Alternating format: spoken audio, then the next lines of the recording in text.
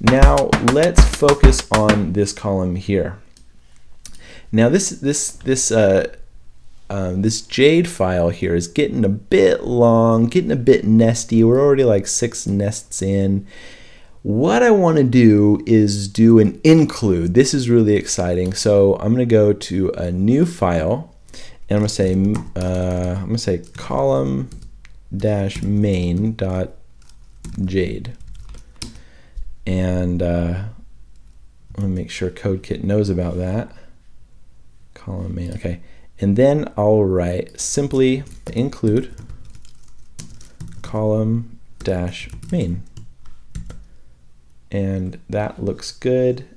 Column dash main uh, is no uh, the output file for column dash main according to CodeKit is no direct output imported by other files. That is exactly what we wanted. And while we're at it, let's just make a few others here. New file call dash secondary and uh, dot jade and include call that main and then we're going to do another one this is going to be secondary and then the third one will be tertiary tertiary means third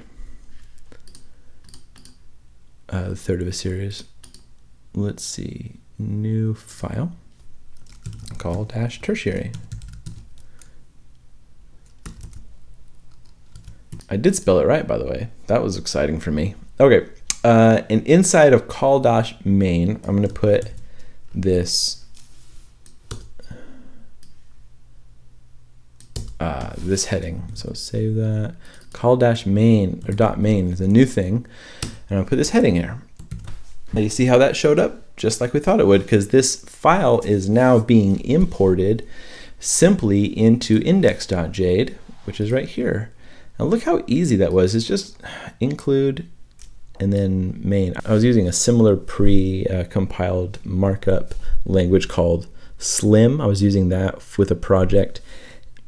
And um, the crap you had to write to get an include done was pretty pretty severe. Uh, I'm really excited that it's just include and then the name.